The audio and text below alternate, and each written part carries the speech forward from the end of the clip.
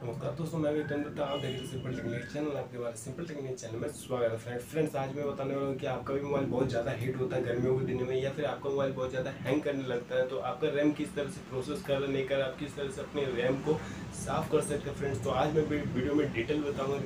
Video को शुरू से अंत तक दीजिए, देखिएगा फ्रेंड वीडियो को नहीं स्किप कीजिएगा, नहीं रिमूव कीजिएगा, वरना आपको प्रॉब्लम परेशानी ज़्यादा रहेगी, फ्रेंड्स, आपको परेशानी हल नहीं होगा। तो मैं आपको बताऊँगा किस तरह से आपको मोबाइल को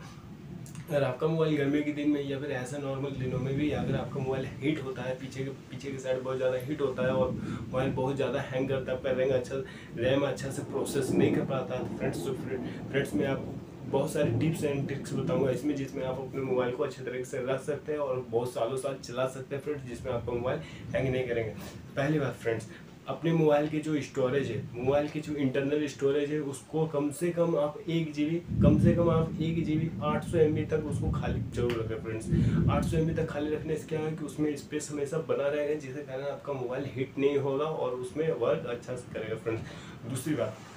दूसरी बात, आपका जैसे मोबाइल खोलते हैं तो उसमें मिनिमाइज में आप देखिए बहुत सारा आपका वर्किंग होता है। मान लीजिए आप तो उसको फटाक से काट दें, बीच वाला आप उसको क्लिक कर दिए आप उसमें फटाक से आपका सब कुछ ऑफ़ हो गया। बट आपका उसमें प्रोसेसिंग में बहुत सारा कुछ एप्लीकेशन चलते रहता है फ्रेंड जिसमें जिसमें कि आप जो जो खोलते हैं फेसबुक वगैरह इंस्टाग्राम कुछ भी खोलते हैं तो उसका आपका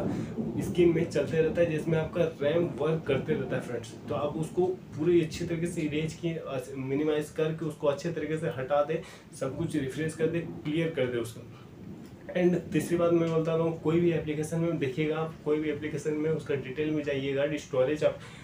मोबाइल के सेटिंग में जाइए। जैसे कि मैं आपको स्क्रीन में दिखा रहा हूँ फ्रेंड्स मोबाइल के सेटिंग में जाइए। सेटिंग में जाकर वहाँ पर जो कोई भी एप्लीकेशन का क्लियर कैच होता है, वो क्लियर कैच को आपको क्लियर करना है फ्रेंड्स अगर कोई भी एप्लीकेशन में उसमें आपका स्टोरेज कैप्चर करके रखता हूँ तो उसमें आपका रैम बहुत ज़्यादा जाम हो जाता है फ्रेंड्स उसमें आपका वर्किंग प्रोसेस बहुत स्लो करने, काम करने लगता है फ्रेंड्स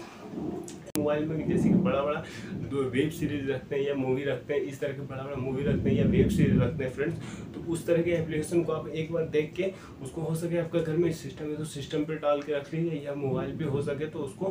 हटा दीजिए फ्रेंड्स क्योंकि आपके बड़ा बड़ा जितने, मान लीजिए एक से डेढ़ जी के जितने भी बड़ा फ़ाइल होता है, उसमें आपका मोबाइल में रैम को ज़्यादा, बहुत ज़्यादा यूटिलाइज करता है फ्रेंड्स और उसमें आपका मोबाइल में ज़्यादा हैंग करने का चांस रहता है फ्रेंड्स एंड चौथे बात मैं ये बताऊँ ऐसे जगह पर रखें, किसी मशीन के ऊपर न रखें, ऐसे जगह पे रखें जहाँ वहाँ पर आमने सामने कोई मशीन ना हो रिमोट ना हो, इस तरह के गैजेट्स वगैरह मोबाइल के आमने सामने हो, वरना वो ज़्यादा हीट पकड़ती है फ्रेंड्स एंड फिफ्थ बात मैं ये बताने वाला हूँ फ्रेंड्स कि आप मोबाइल में ज़्यादा एप्लीकेशन ना रखें। मोबाइल में हमेशा कम ही जितना ज़रूरत आपको, उतना एप्लीकेशन रखें। कि कुछ एक दो एक गेम ही आप रखें, ज़्यादातर उसमें गेम नहीं रखें। मोबाइल आपका ज़्यादा हिट होता है गेम खेलने के फ्रेंड्स आप अगर जितना मोबाइल पे गेम खेलेगा, उतना मोबाइल आपका हीट होगा और मोबाइल पे रैम का आपका प्रोसेस और रैम आपका उसमें जितना आप ज़्यादा यूज़ कीजिएगा, उतना आपका रैम डैमेज करता है फ्रेंड्स गेम में। गेम में रैम को ज़्यादा डैमेज करता है मोबाइल के गेम को। तो आप समझ रहे होंगे कि मोबाइल में किस चीज़ से प्रॉब्लम होती है किस चीज़ से दिक्कत होती है फ्रेंड्स तो आई होप वीडियो आपको अच्छा लगे। वीडियो अगर अच्छा लगे तो वीडियो को लाइक कीजिए चैनल में नहीं है तो चैनल को सब्सक्राइब कीजिए। आज के लिए इतना है फ्रेंड्स जय हिंद, जय भारत।